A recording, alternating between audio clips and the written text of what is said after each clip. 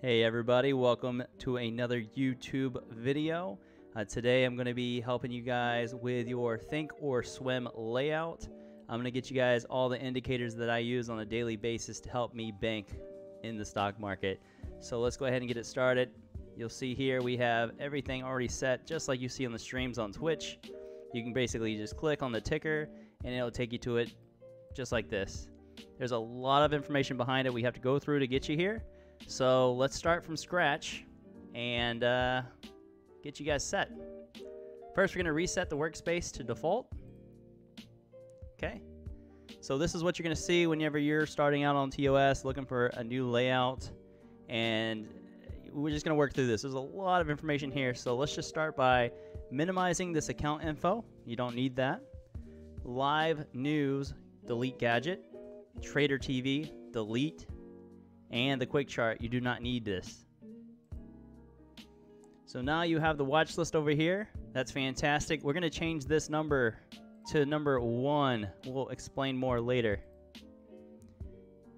Next, we can go over to the cog symbol, go to customize. We're going to take out net change, remove this. We are going to add percentage change instead, and then we're going to drag that up right under last. Beautiful. Next, we're going to look for percentage mark change. And then you just double click it and it'll add the item to the right side. That'll You'll need that for pre-market.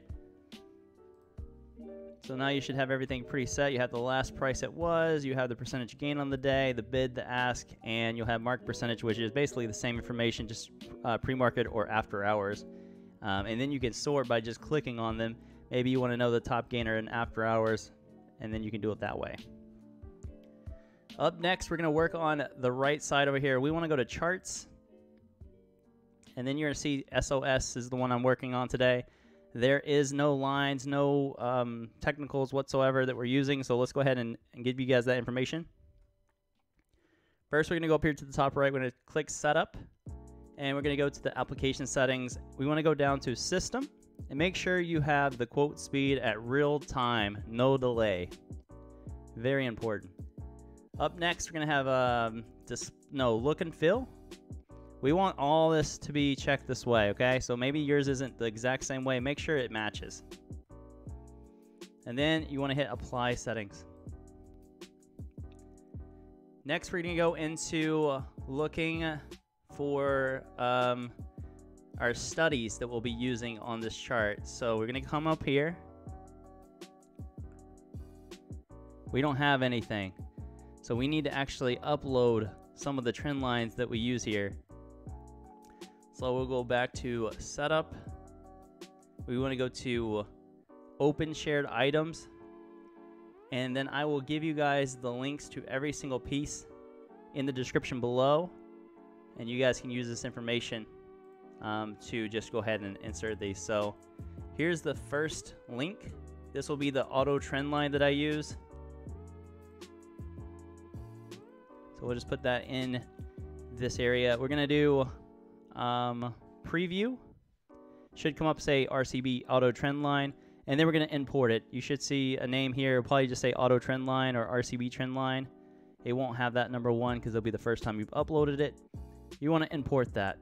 You're going to say it's already uploaded, whatever. You're just going to say okay if you already do have it, but most of you won't.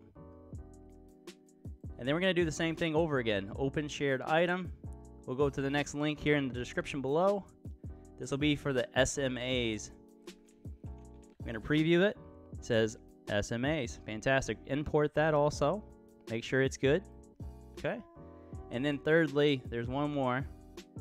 Open shared item. Get the link and then you want to copy that link and put it in this one. Import. Awesome. Okay. After that, you're going to go over to Studies and click on Edit Studies where we were before. You're going to actually search these by clicking this top left bar.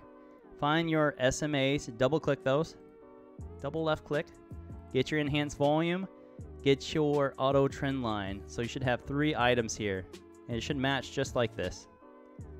There is one thing you're missing, And that's going to be the VWAP. So we're going to actually type that in also over here to the left. Double click it. And then one thing we're going to have to do is change some information here. So you're going to click on the cog symbol. And you're going to change the style to a dashed line long with a width of 2. And then we want to do it in white. One more thing we're going to have to do is go to upper band and we want to take off each check mark for showing the plots, the bubbles, the titles. We don't need any of this information on the upper or the lower band. And then after that, we're going to hit apply. So your chart should look a lot like this now. You're going to have some auto trend lines, where, which are these uh, dashed lines.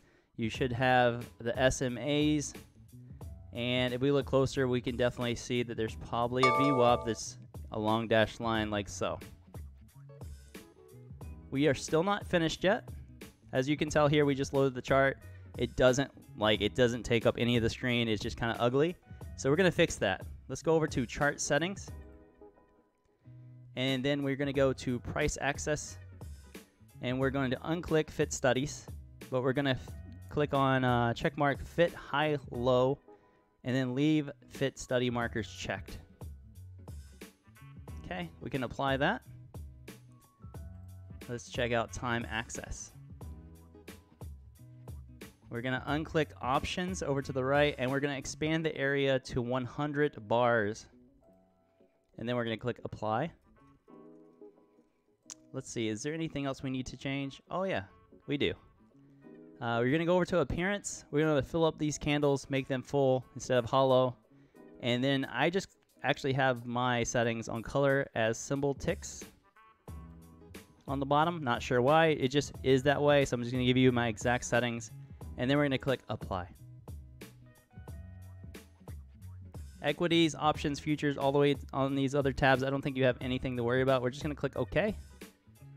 And we should be pretty much set that should help you guys get started on Thinkorswim.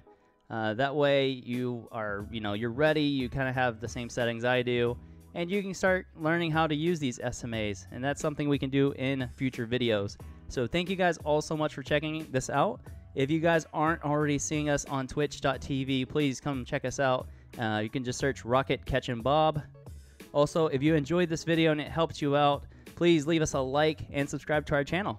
Thank you guys so much. We'll see you on the next one.